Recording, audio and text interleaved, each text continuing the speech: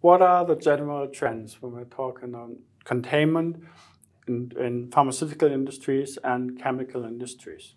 Welcome back to my blog. I have here with me Armin Scheuermann, who is editor-in-chief of uh, Pharma and Food and Chemie Technik, two papers in uh, Germany um, dealing with containment. So, what's your view on this?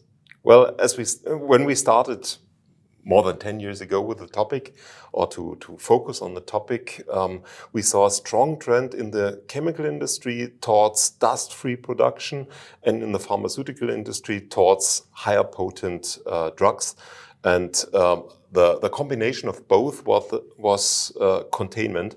And the specialization of the chemical industry um, is driving these trends till today. And in the pharmaceutical industry, I see there's no way around containment. But what's your view? Is this such a strong trend that we uh, uh, share together?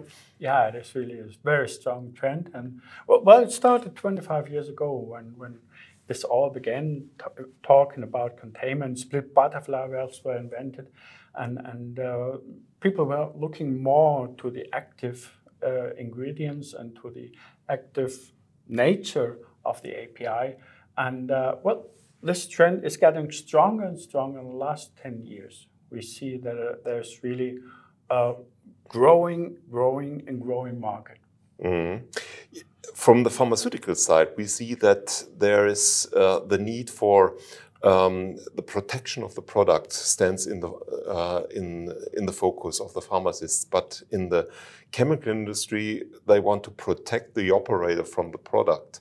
Um, do we share this view in in both um, in in both uh, industries, or is it uh, are these different approaches? I think it's the same approach because, well, highly active ingredients they are highly active, and so very small portions of an ingredient A is very drastically polluting and contaminating an ingredient B, and so when you're looking at containment, you're looking that A doesn't mix into B or B into A, and you're looking that the operators are not medicated.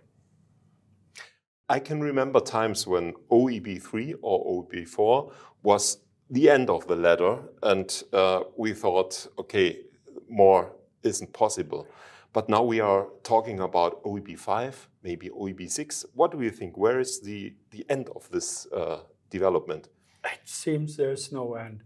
It seems it's always going on, and, and well, the activeness of the active ingredient, this will rise. We will, uh, for a long time, not at the end. But when you're looking at oral solid dosage forms, like we are producing them, or with our machines they are produced, there the application is always the same. It's a tablet of, let's say, 200 milligram, and when years ago it was 50 milligram of, of active ingredient, now it's five or even one milligram, and it will be less, I'm quite sure.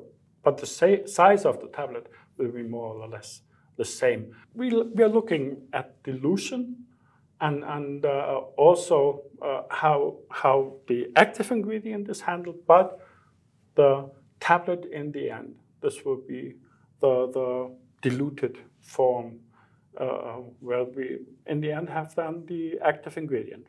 I can imagine that it, at some point it will not be possible to keep the process under control with manual operations. Yeah. Um, what are the technical uh, aspects in that?